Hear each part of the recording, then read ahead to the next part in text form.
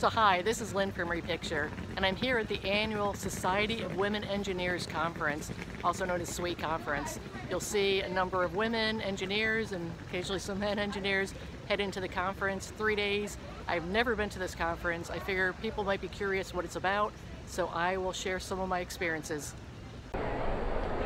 So we're at the exhibitor hall. We have all these companies, and what they do is they actually tell us whether or not the companies are hiring and what types of engineers that they're hiring.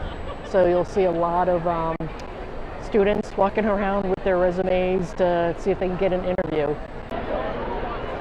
So as you would expect, the Google booth is just packed with people wanting to talk to someone about potential opportunities.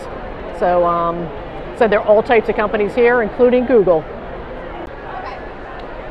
So we have some of the traditional engineering companies, civil engineering companies like Dewberry here. Got a line of people waiting to talk to the recruiters. So we're in the area where the interviews are taking place. You just see all these different booths for um, for interviews, and they're hiring. I guess they they probably will be sending out offer letters. I understand potentially as soon as tonight. Some of these companies. So it's um, it's great to see all these companies doing these interviews at the actual conference. So they have hundreds, if not thousands, of presentations. Here's a, a copy of the brochures about the talks. They also have it online. But some of these talks are really popular. Um, I tried to get into a talk called Confessions of a Hiring Manager, and there was a huge line of people just trying to get in and waiting for someone to leave so they could get their seat. So a lot of great talks and um, a lot of great networking. We'll see everyone is headed up to the presentations that are about to start soon. And the energy is just electric. All these young people here, it's fantastic. I mean, you can see that it really does change over time what it is that women engineers value. So walking around, I came across this long line. You'll see all these people lined up. And what they lined up for? They're actually lined up for a massage. They have free massages. So um, people are going to be very relaxed after that.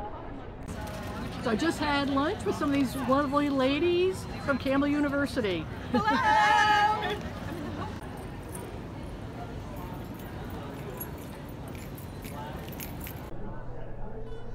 So I'm waiting for the next session to begin. It's about State of Women in Engineering, which is a literature review that SWE does every year. It's a great literature review that kind of um, summarizes what the state of uh, research is. So looking forward to this.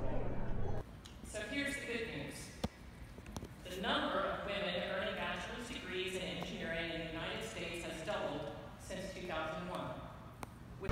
So we just had a wonderful dinner together after SWE. Here are my dinner buddies. Ah, you missed out. Come next year. It was so fun. What a conference.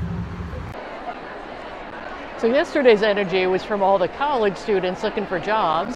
Today, and the last day of the conference, it is about, at least this part of it, it's about getting the next generation of college students excited about engineering. So it's an outreach center that there are a lot of exhibitors here and different outreach activities. We'll maybe check out one or two and then head back to the to lectures.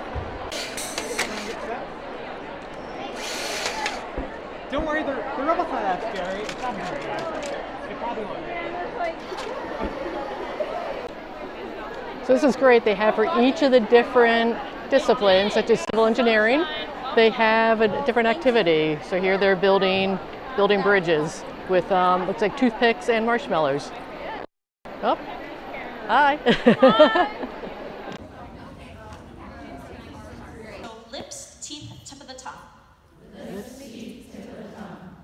So, you, so this is really cool. We can apply some of what we've learned in our engineering classes to um, the anatomy of the voice. And it's been several years since I've taken fluid dynamics, so please don't ask me um, any deeper questions. But I just wanted to pull this to your attention that um, Bernoulli's principle is all about pressure and then the velocity and.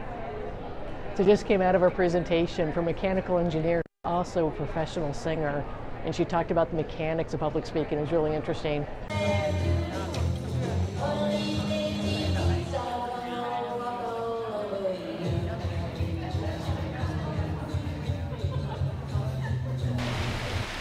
So my first Society of Women Engineer conference has come to an end. It's been a great three days. I would definitely recommend people to come to this conference, especially if you're an engineering student looking for a job. It's a great place to network, meet a lot of companies.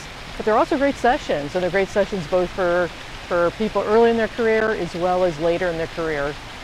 A company trying to recruit junior engineers, I think this is a great opportunity to, to meet them. There are 14,000 engineers, I understand, here.